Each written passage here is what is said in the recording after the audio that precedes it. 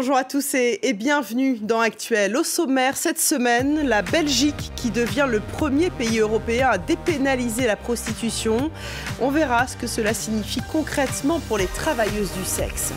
On parlera aussi des réseaux sociaux et de ce qu'ils apportent au mouvement féministe. On posera la question à notre invitée, Elvire Duvel-Charles, qui a écrit un livre sur la question. Et puis nous irons au Togo à la rencontre d'une chanteuse d'opéra qui essaie de développer son art encore très marginal en Afrique de l'Ouest. Et je vous emmène d'abord en Belgique, qui est devenu le premier pays européen à dépénaliser la prostitution. Dorénavant, les travailleuses du sexe ont les mêmes droits que les travailleuses indépendantes, un statut, une protection sociale et une mutuelle. Mais si certains applaudissent ce changement, d'autres dénoncent une libéralisation du marché du sexe dont les travailleuses du sexe seront les premières victimes. Reportage en Belgique de notre correspondante Alix Le Bourdon. Emma a préféré modifier son prénom et cacher son visage. Pourtant, depuis juin, cette travailleuse du sexe de 29 ans vit son métier beaucoup plus sereinement en Belgique. Le pays vient de décriminaliser la prostitution. Résultat, la jeune femme peut par exemple chercher un appartement en toute légalité pour exercer son activité. Fini les mauvaises expériences avec des propriétaires peu scrupuleux. Je payais 1600 euros par mois tout en cash, hein, il n'avait même pas enregistré le bail, pour un 40 mètres carrés. Emma va aussi pouvoir bénéficier d'un statut comme n'importe quelle indépendante. Je vais pouvoir cotiser euh, pour le chômage, je vais pouvoir cotiser euh, pour la retraite.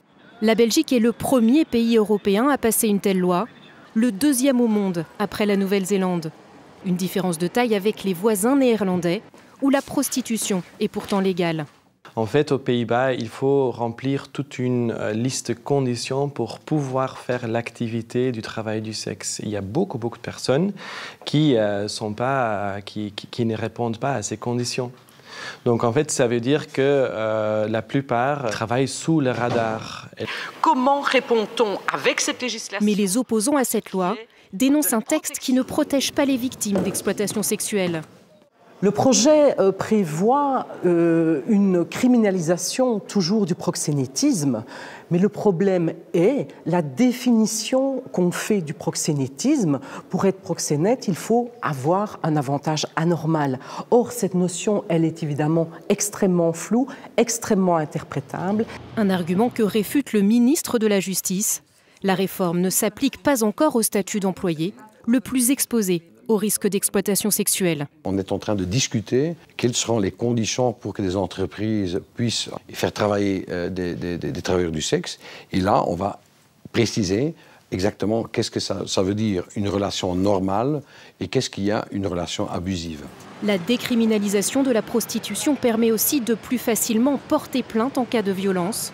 Une nouvelle ère s'ouvre pour les 26 000 travailleurs du sexe que compterait le Royaume. Cela fait cinq ans que le mouvement MeToo a émergé sur la toile. Cela a permis une libération de la parole des femmes et on a assisté par là même à une explosion du féminisme en ligne. Alors comment les réseaux sociaux comme Instagram, Twitter, Facebook servent-ils la cause féministe? Pour en parler, euh, qui de mieux que l'autrice de Féminisme et réseaux sociaux, une histoire d'amour et de haine, Elvire Duvel-Charles, bonjour. Bonjour. Merci euh, d'être avec nous chez, chez Actuel. Vous connaissiez bien hein, le sujet avant même d'écrire ce livre car vous vous avez créé euh, sur Instagram en, 2017 le compte Clit Révolution, suivi aujourd'hui par plus de 124 000 abonnés. Euh, mais vous n'êtes pas d'ailleurs la seule cyberféministe à, à s'être emparée de thèmes comme la sexualité, l'éducation sexuelle. On peut euh, citer Je m'emballe clito, Merci beaucoup, Jouissance Club, Orgasme et moi. C'est cela, selon vous, la grande force des réseaux sociaux finalement, c'est de rendre visibles des sujets qui étaient absents du débat public ou même parfois de, de briser l'omerta oui, complètement. En fait, euh, c'est intéressant parce qu'on se rend compte que les réseaux sociaux, ils fonctionnent un peu comme des médias indépendants. C'est-à-dire qu'ils permettent euh, d'aller euh, traiter des sujets qui peuvent être considérés, en fait, par les rédactions comme des sujets de niche qui n'intéressent pas, hein, puisque l'origine du compte Clit Révolution, c'est aussi un rejet de rédactions euh, et de chaînes qui ne voulaient pas prendre la série documentaire qui est finalement disponible sur France TV slash. Mais en fait, ce que ça a permis, euh, c'est de se rendre compte qu'il y avait un, écart considérable entre ce que l'éducation et la culture nous offrent et pensent devoir nous offrir et en fait ce qu'attendent réellement les personnes. Et c'est intéressant de voir qu'en fait tous les contes sexo-féministes euh, euh, français sont apparus quasiment tous en même temps, c'est-à-dire entre fin 2017 et euh, début 2019. Vous écrivez dans votre livre, il est plus facile pour les femmes de s'identifier aux féministes sur Instagram qu'aux fémènes qui sautent seins nus sur la voiture de DSK, ce que vous avez fait vous-même en, en, tant que, en tant que fémène. Complètement.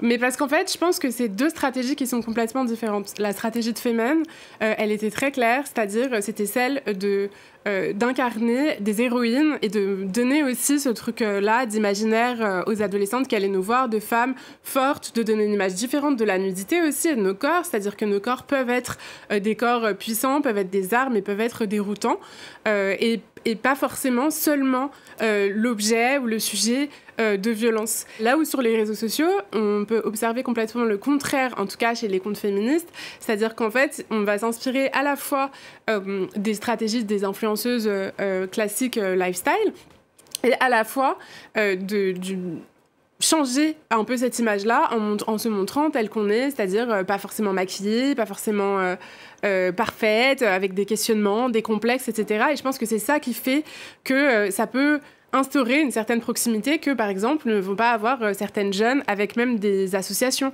qui vont avoir l'impression qu'on leur parle dans un langage qui n'est pas le même. Là, le fait qu'on emploie des termes euh, qui sont la manière dont on parle euh, tous les jours et qui leur parlent, fait que ça rapproche. Exactement, ça rend la chose plus accessible. Et donc, quand il s'agit de parler d'intimité, parce qu'en fait, les violences sexuelles, il, il s'agit aussi d'intimité, ça devient plus, plus simple. Euh, vous, vous, venez de parler hein, des influenceuses euh, et, finalement dans votre livre vous dites qu'elles oublient parfois euh, l'objectif de départ, à savoir l'activisme parce qu'elles privilégient la com, la pub, la pas du gain bien sûr. Est-il possible de rester une féministe engagée tout en étant une influenceuse de poids? Bien sûr, mais c'est extrêmement compliqué, non pas pour des dilemmes moraux, mais pour des dilemmes tout à fait, enfin pour des questions complètement logistique. C'est-à-dire qu'en fait, euh, pour comprendre cette, euh, cette tendance aussi à monétiser les contenus sur Instagram, il faut comprendre Instagram et il faut comprendre qu'Instagram est une régie publicitaire euh, qui dépend euh, qui dépend d'un algorithme et où en fait euh, l'algorithme, en tout cas en ce moment, puisqu'il change très souvent, mais depuis ces, derniers mois et ces dernières années, demande à ce qu'on produise de plus en plus de contenu. Donc c'est exactement comme les médias, c'est-à-dire en fait il y a de plus en plus de contenu qui doit être produit. De fait, il est de moins en moins qualitatif et de fait, il faut trouver un modèle économique pour que ça soit viable, puisque ça prend de plus en plus de temps et c'est de plus en plus chronophage. Euh, ce qu'il faut dire, c'est qu'il y a des thèses féministes qui dérangent clairement, parce que dans votre livre, vous êtes victime, vous le dites, et vous n'êtes pas la seule, de shadow ban, ce bannissement de l'ombre qui permet à Instagram finalement d'invisibiliser des contenus euh, sans supprimer le compte. Vous, vous avez décidé d'attaquer Facebook avec 13 autres comptes féministes. Euh, c'est quand même le problème de dépendre de, ce genre de, de réseau social. C'est complètement problématique, et surtout, le, le, vrai problème se situe dans le manque de transparence de Meta euh, à euh, euh, expliquer les critères de censure. C'est-à-dire qu'en fait, il y a un règlement qui est assez, assez flou et en fait on se rend compte il y a plusieurs médias qui ont montré en fait ça que les comptes qui vont être le plus victimes de censure sont des comptes de femmes des comptes de personnes racisées des comptes de personnes grosses des comptes de minorités de genre. Et donc ça montre bien qu'en fait c'est simplement les violences euh, et les discriminations euh, du monde hors ligne qui se reproduisent en ligne. Euh, c'est pas qu'il y a un méchant monsieur derrière Meta qui décide d'aller stigmatiser les personnes qui le sont déjà. C'est plus qu'en fait, c'est des, on pense, en tout cas c'est notre théorie, que ça émane de signalements massifs de la part de personnes qui agressent aussi bien hors ligne qu'en ligne des personnes minorisées. Merci beaucoup, Elvire, d'être venue. Une petite question, est-ce que vous aimez l'opéra? J'adore. Eh bien, ça tombe bien. On va prendre la, direction ensemble du Togo à la rencontre d'une soliste qui, avec sa voix soprano, essaie de démocratiser l'opéra classique, un genre musical qui reste euh, très méconnu en Afrique de l'Ouest. Reportage signé Emmanuel Soji.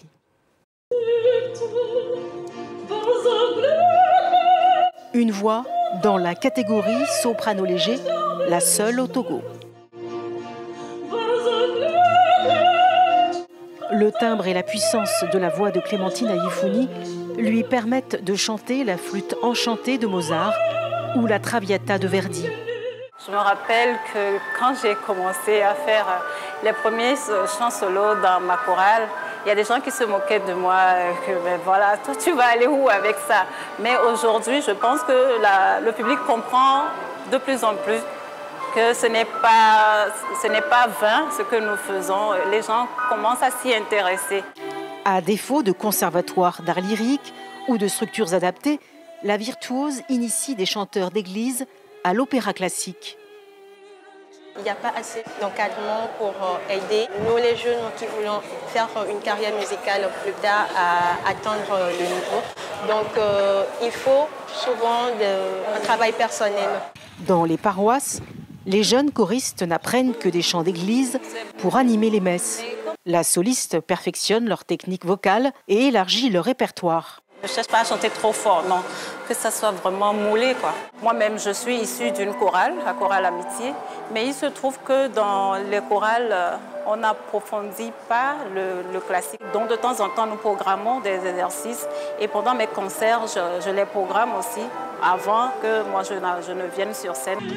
En Afrique, l'opéra classique est encore un genre musical méconnu.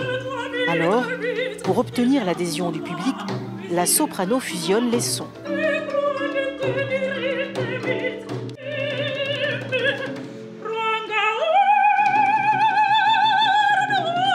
Il faut qu'on puisse s'exprimer dans notre langage. C'est pourquoi maintenant on a maintenant ajouté maintenant un peu d'un rythme afro euh, maintenant à tout ce qu'on a pris qui est le classique. Avec plus de 30 ans de carrière musicale, cette virtuose est la plus grande soliste togolaise d'opéra. Elle rêve d'emboîter le pas de l'une des plus célèbres sopranos des 50 dernières années, l'américaine Jessie Norman. Voilà, c'est déjà la fin de ce numéro d'actuel. Merci à vous de votre fidélité et n'oubliez pas de nous suivre sur Instagram, Facebook et, et Twitter. À très vite sur France 24.